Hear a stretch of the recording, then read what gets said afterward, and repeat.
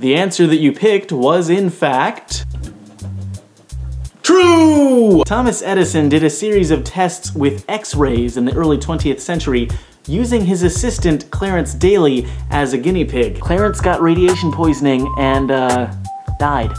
Oopsies. Round four. Fact one. Double Nobel Prize winner Marie Curie had a daughter who won a Nobel Prize herself. Fact two. Physicist Max Born, who was instrumental in the development of quantum physics, had a granddaughter who won a Nobel Prize in chemistry.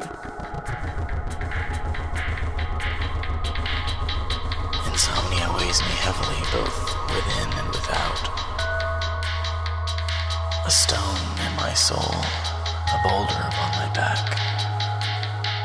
And while infuriating and burdensome, I welcome you. I welcome you gratefully. For from these times when I cannot escape my own frustrations boiling inside me like